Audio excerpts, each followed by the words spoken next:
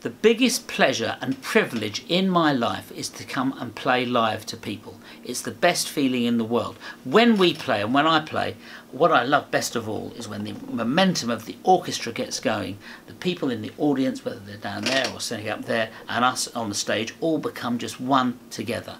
I am hoping there's going to be lots and lots of that one togetherness and we will be playing uh, some great boogie, some great ska music, some of my music, some popular music, all these different stylings. We have Ruby Turner, of course the greatest blues gospel boogieist singer in the world today. We have Louise Marshall, the interpreter of sweet songs. We have Gilson Lavis, the incredible drummer.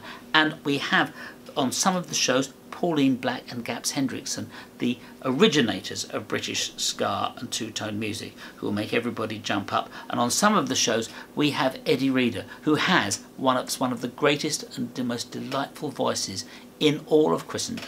Yes, even if you've never heard her with Fairground Attraction, when you hear her with us, you will weep with joy when you hear her. So I do hope you can join us for one of these shows that we're doing in a venue near you soon. Thank you.